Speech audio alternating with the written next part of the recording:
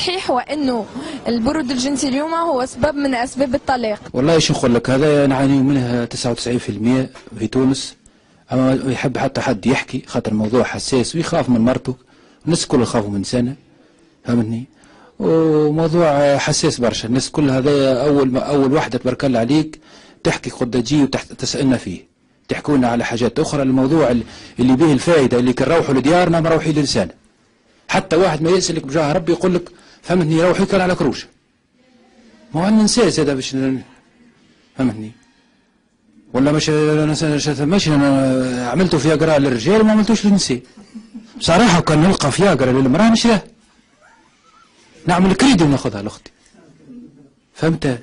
المهم خلينا نحرك لها مشعل. شنو ربوت أنا؟ والله على فاهم جديد كيفاش تبوز وكيفاش تعمل. انت معانيت يعني منها كانت مرتك كان عندها برود جنسي؟ مش كان مازال عندها برود كان عندك حرام شهادتي والله نحكي معك بالرسم. كيفاش تصرفت يعني؟ كي لقيت مرتك باردة جنسيا كيفاش تصرفت معها؟ تصرفت تصرف أوروبي. عندي اكسبيريونس نتاعي نعمل حاجات تسخن يا ودي شو هنا سلفي تو بدا يعاني من نفسه سلفي مش راجل. ناحية تكيل بباص سلك سعيد تحسبيه. كان شي عنده هما يلزمهم يكلمونا في القرآن تمشي حل؟ للمرأة باش تسخن في الليل. شوفونا أخويا بالقرآن بالإسلام بأي يدينا الدين ما وحغاتي أنا كي نروح نروح للمرأة.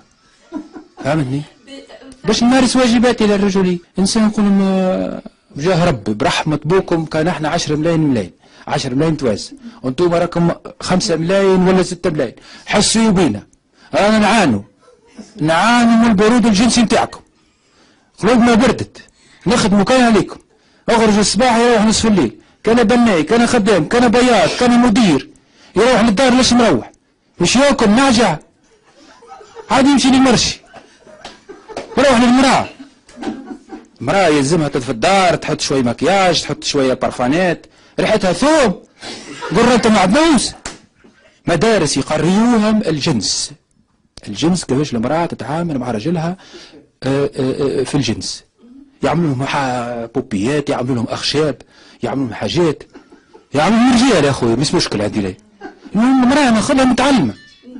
نقعد معلم فيها أنا حصان ما عنديش وقت. زاد أنا بصراحة صراحة الحاجة الوحيدة ممكن باش ما نكذبش على مرتي علاش فيها عندها حاجة 50% موجودة إن أول مرة كي تجيب حذايا تجيب الكوجينة تجي تدوش وتبرفن وتحط برفان حلوة تحط مكياج حلوة تحط كذا.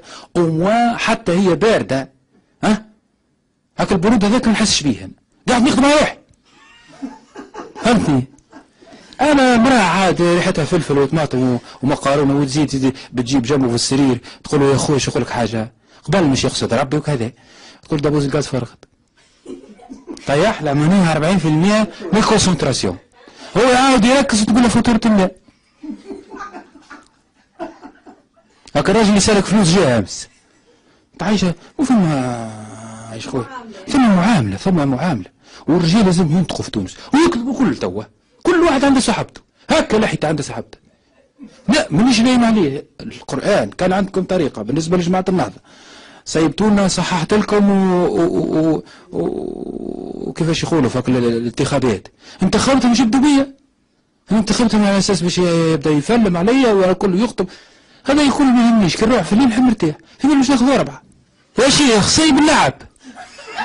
سيبها متوسخ نقطنا. تو أنت كنت عايش في ال Angleterre زعما كل ربي يهديك. فهمتني؟ انسان moderne وتعجبني وكذا وكتب نتاعك حلوين تو بعثتهم لتركيا شعلت النار. فهمت الناس عايشة غادي. جيت لهنا حسرتنا.